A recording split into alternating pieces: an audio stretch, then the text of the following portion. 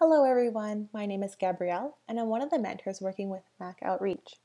Mac Outreach is a team of undergraduate students who work under the guidance of Dr. Christopher Anand to provide elementary and middle school age children with computer programming workshops. Our goal is to help teach skills such as literacy and math comprehension with coding in a fun and friendly way, and to do this we use Elm, a functional programming language. We run workshops during the year and a summer camp for free where we focus on mathematics, design thinking, teamwork, collaboration, and creativity. We also host workshops at schools and community centers across the greater Hamilton area and also welcome many teachers and students to our campus at McMaster University. Our goal is to foster an environment where students are encouraged to get creative, ask questions, and work together to apply classroom concepts as they problem solve. We love combining traditional learning with application processes and storytelling. If you have any more questions about our work or how to get involved, please feel free to email us at mcmasteroutreach at gmail.com or visit our website outreach.mcmaster.ca to see a few examples of our workshops and the wonderful things that our students have come up with, ranging from comics to websites and online games. Within this video, we'll be going over Lesson 1, where we aim to set a foundation for our programming skills by getting familiar with our workspace, and then also learning to create basic shapes and apply various transformations to them. To begin, let's open a new window using Google Chrome. Please make sure you're only using Chrome as our system is not supported by other servers such as Safari or Internet Explorer. So we're going to open a new tab and visit our website at macoutreach.rocks. And it'll take us to this pretty blue login page. From this page, you're able to type in your username and password that you should have received in an email from us. Please make sure you're using the appropriate uppercase and lowercase letters for both the username and the password, as our system is case sensitive. If you haven't received a username or password, or you experience some issues logging in, please email us at mcmasteroutreach at gmail.com and we'll do our best to get back to you as soon as possible so you can begin your own learning journey. So once you have done that, you'll be able to see at the bottom of your login that there are a bunch of different icons. These icons reflect the different activities you're able to complete within our lessons. We have everything from pictures to animations to games uh, to math and even physics slots. So for this lesson, we're going to click on the animation slot. It's the second most left icon, and it kind of looks like a moving film strip. Once you select an icon, you'll see a number appear at the bottom. This number reflects the slot you'll be working within. A slot describes the memory card that your work will automatically be saved to once you hit the compile button. So for the purpose of this lesson, I'm going to be working within slot number 4, and I'm going to just hit on the blue rectangle below that to begin working. Now that we've logged in, let's get familiar with our workspace. So to begin, let's look at our top left box. This left box contains our boilerplate. The boilerplate refers to the section of code that is needed for it to run and be executed. This means it should not be deleted or else your code will not compile. This section is also where you'll be writing your own code in between these square brackets. So once you type in your code in these square brackets and hit compile, you'll be able to see your result in the next section. So the top right box is where the images and animations you code for will eventually displayed. For example, we'll soon be creating a heart. The bottom left box contains the code that is needed for your program to run. You don't have to worry too much about this section as you're unable to edit it. It's all run by our mentors and essentially used to help keep the website running smoothly. And finally, we have the bottom right corner. This box will be of great use to you, so if you ever find yourself in a pickle and your code isn't working, or maybe you forgot how to do a certain skill, you're able to type a message and start a conversation with our mentors, and we'll do our best to get back to you as soon as possible. Moreover, if you create a code and you're really proud of it and you want us to put it up on our websites, feel free to type a message here and copy and paste your code, and we'll do our best to put it up. Finally, let's go to the top of our page. In this red rectangle, you'll see a bunch of clickable links that will give you shortcuts to different tools that can help you in creating your code. And there's also our compile button. Our compile button is kind of like our enter key, and it kind of processes all the inputs we put in through our code box and creates the output that we then see in our top right box. The first tool we're going to practice using within this lesson is called Shape Creator, which you can access through the top link of the page, and it'll take you to a new tab within your web browser. Shape Creator is kind of like a cheat sheet or training wheels as you get used to the terms used to describe and manipulate your shapes. For now, I'm going to do a little walkthrough of the five elements of Shape Creator until you get a little more comfortable and maybe try making your own shapes. So to begin, we're going to pick a stencil. Stencils are your basic generic shapes, and they each have a number or a set of numbers next to it. These numbers describe the dimension of the shape. So if I were to click on a circle, it would give me 10.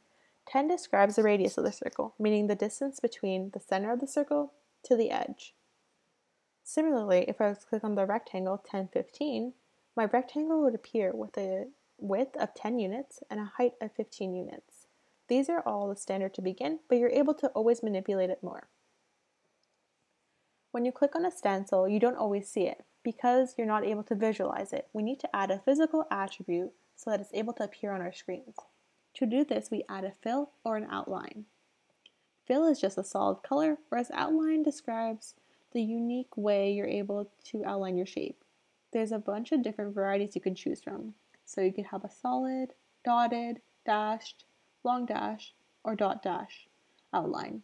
And I'm able to choose these by clicking on the bracketed term. Next, we're going to move on to color.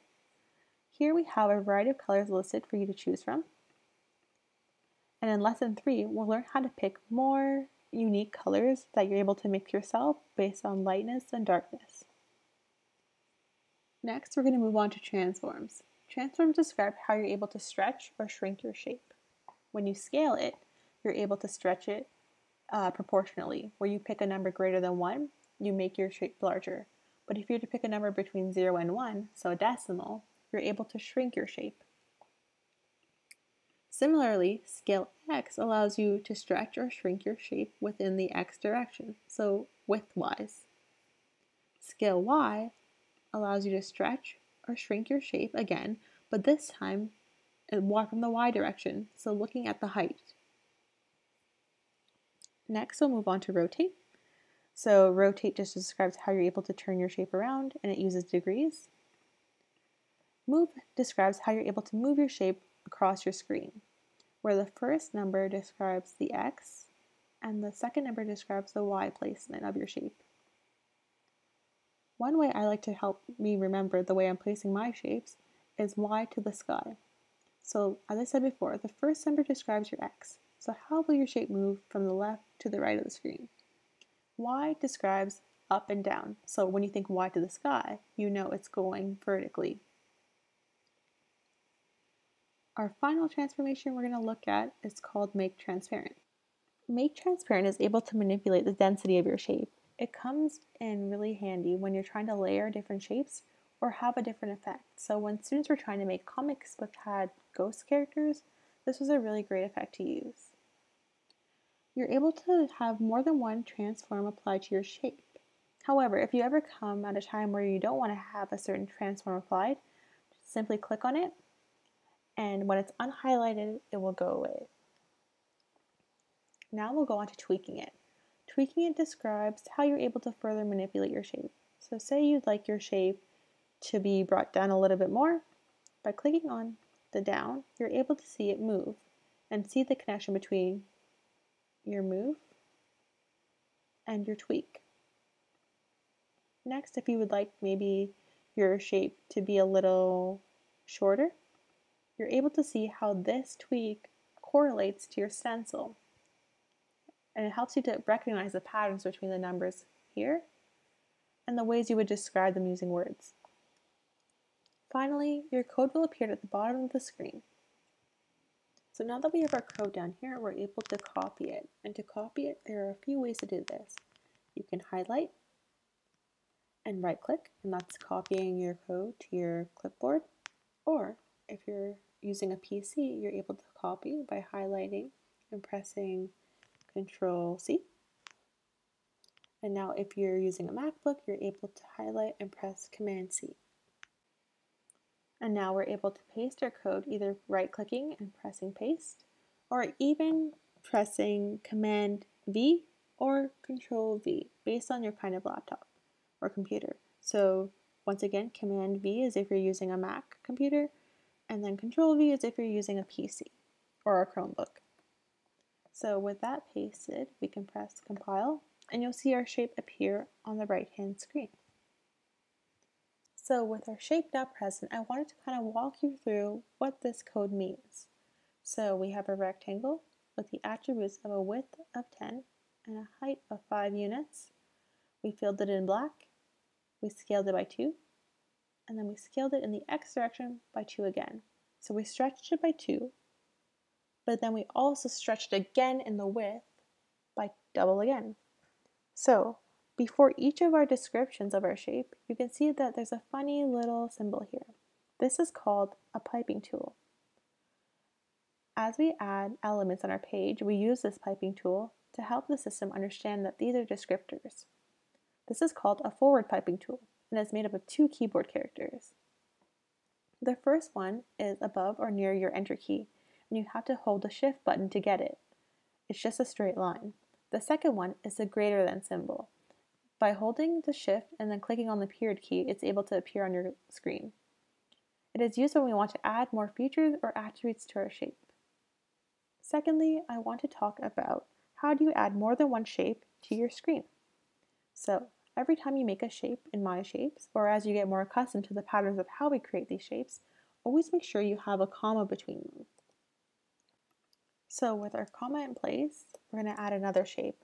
Let's add a circle and maybe give it a radius of 15 and we'll fill it in black. So filled black. And you'll see our circle comes up onto our screen, but it overlaps with our rectangle. We're able to move it using our move function as we saw earlier. So move, and let's say hmm, it's overlapping. Maybe we'll put the circle above our rectangle. So we can leave our x is fine, and we'll maybe just change our y digit. So we'll go up, maybe let's try 5 units since the width of our rectangle is 5. And as you can see, our shape moved up a little bit, but still overlapped, so let's just do 20. Great. Now our circle is above our rectangle. One final tip I wanted to give to you is what if you want to have a fill and an outline on your shape? Well, to do this, you would first write the fill code. Then below it, you'd add another piping tool. And you're able to add outline where you capitalize the O in outline, the type of outline you want to have, so maybe we'll just stick with solid, one, and the color. Let's make this one yellow. And press compile, and you're able to see you have both attributes going on, but it's not shared with you on Shape Create. But We've practiced making shapes, let's get coding. So, as I said earlier, in this lesson we're going to try and make a heart. So I'm going to just erase the current code we have within our square brackets, just so we have a clean workspace. And now we're going to go back to our shape create. So let's try and break down our heart into two basic shapes we could think of. So let's think of our heart as being made up of a triangle and two circles to make the top foot. So let's start by making the base, the triangle. So we'll click on triangle over here and let's just unselect the transforms there. And maybe do we want to fill it in red? Okay, and now let's think about the orientation. Are we satisfied with this? No. Let's maybe try rotating it. Perfect. So 30 degrees off the bat, set it up to be in the vertical direction we like it in. Now we're going to copy our code and we're going to paste it into our outreach slot. So we're going to erase that block again, paste, and compile. Now we have our triangle appearing on our screen, but it looks a little small, so it might be a little hard to work with. So let's make our triangle a bit bigger. Let's make it 40. Perfect, that's a really good size to be working with. Now it's on to make our, our circles. So we'll click on circle we don't need to rotate it because all sides of the circle are the same and we have it filled red. Let's copy our other code and we'll paste it here. Now one thing to always remember, we need a comma in between our two shapes or else it wouldn't show up. And we'll compile and, but we still can't see our circle. So what's up? So our circle is overlapping with our triangle so we definitely need to move it up and possibly to the right. So let's begin. Let's move it maybe 17 units to the right and 23.5 units up. Perfect. It's at the top of our triangle, but it looks a little off it looks a little bit too small. So let's recall that we changed our triangle to be 40 units wide. We want to take up half of the width of the triangle. We need to double our radius of our circle. So we'll change the 10 to a 20. And that circle looks more proportionate to our triangle. So now time to add our second circle. We'll add our comma again because it's a new shape. And we can just easily copy the original circle and paste because we want to be a mirror image. And once we hit compile, we notice that we don't see our other circle because they're overlapping. So a trick to do is turn one of our x values of our circles into a negative because we want to be a mirror image. And we should see the second circle pop up on the left hand side. So we're close to achieving our, our heart, but it still looks a little funny. So what can we do to fix our heart? Yes, you're right. We need to scale it. We need to scale what element of our heart based on the basic shapes to make it look more proportionate. Yes, let's scale our triangle. So let's add a scale function. But how do we want to scale it? Our triangle looks a little bit too long for the two circles we have at the top. So let's scale it in the y direction. And since we want to shrink it, let's type in a number between 0 and 1. Let's type in 0 0.7 and see what happens. So we hit compile, and I think this is a pretty decent looking heart. Yeah, so just to reiterate, we're able to create this pretty nice looking heart using basic shapes, so using one triangle and two circles. And by using our shape creator, we're able to manipulate the different attributes of these basic shapes to fit each other to create a larger image. As we wrap up this lesson, I want to show you that there are other cool things for you to check out and test your skills. So at the top of the page, there's a link to Cool Demos. Cool Demos shows you a bunch of examples of what other kids have been able to come up with. So for now, I'm going to click on the fish, and basically there's different levels of difficulty and a way to challenge yourself is, is to look at the organization and the way how others have been able to create these different characters and try to recreate them using your own code on Elm. Moreover, you can get creative and make your own characters like Pac-Mans or maybe even a smiley face. It's all about getting creative and getting comfortable. Furthermore, I want to show you how in Shape Creator, there's more options at the bottom to show you how to make non-equilateral triangles, curves, and polygons. Experiment with them so that you have a basic idea of how they work. Thank you so much for staying tuned in this lesson, and I hope you have a great time playing around with the different shapes.